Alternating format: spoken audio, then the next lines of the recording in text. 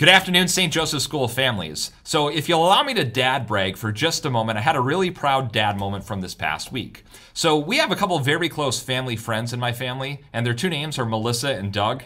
Uh, and and maybe we should like invest in their toys because Melissa and Doug toys have been a big part of our children's experience. Experience, and they build really good toys that last for a long time, and they're very popular in our house.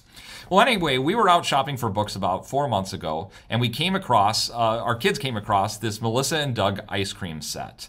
And it was a really nice toy. I mean, I could see where their imagination was going with it. It was also an expensive toy, and we didn't have the money in the budget for that right now, and it, it was just time in the day to say no, which was a very unpopular choice. Uh, but my wife had this great idea, told my kid at the time, ask for that for your birthday, and remember that. And so that really helped us in that moment. But I was thinking at the time, yeah, that's great. His birthday is in four months. He's going to forget about the toy. He's going to want some other toy by then. So a month after that, we started asking him, what do you want for your birthday? And immediately the ice cream set came up. And we've had many conversations since then as, what are you going to ask for? What do you want for your birthday? And by golly, the ice cream set over and over again came up. So this past week we celebrated a birthday in the house, and sure enough, the the big birthday present was this ice cream set.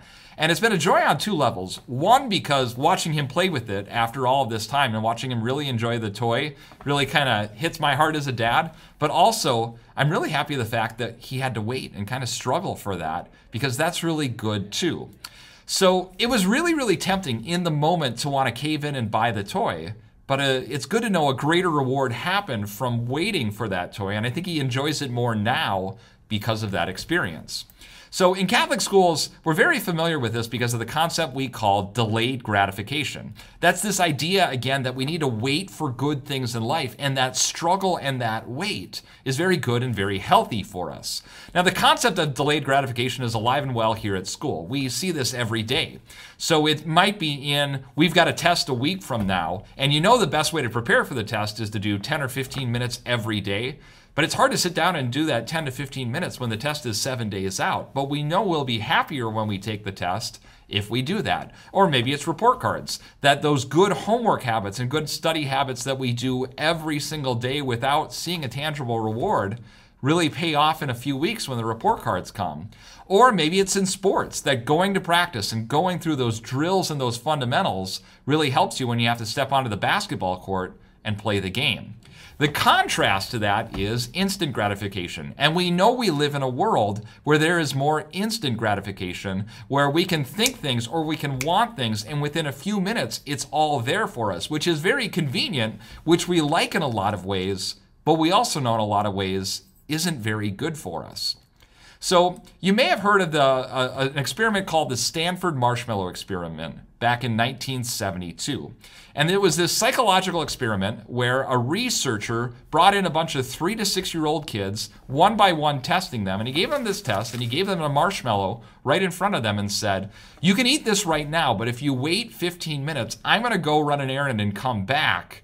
And if you have not eaten the marshmallow, you get two marshmallows.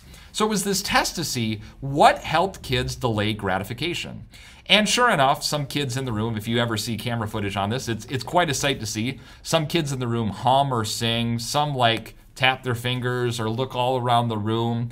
Some cave in and immediately eat, and some just wrestle and struggle with this, and after a while put the marshmallow in their mouth. Well, this test was really designed to look at what things help people in that moment, and they were testing to see does it help if the marshmallow is in front of them? Does it help if there's a toy to distract them, or these sorts of things? But an unintended consequence of the experiment was they followed these kids from the original experiment throughout their life.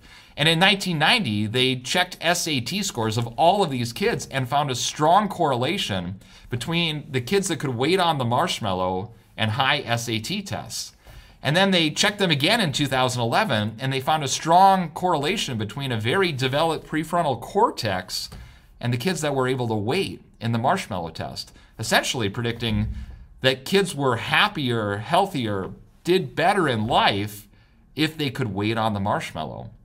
Which again comes back to this delayed gratification. And it's not to say that if we tested kids at four or five years old that it would predict the rest of their lives, but it does say something good things do happen to those who wait. So, Hope you have a wonderful weekend. And remember, school and life, always a great opportunity to teach this lesson of delayed gratification because there are a lot of great things in this life worth waiting for. And we know there's a lot of great things in the afterlife definitely worth waiting for. Thank you.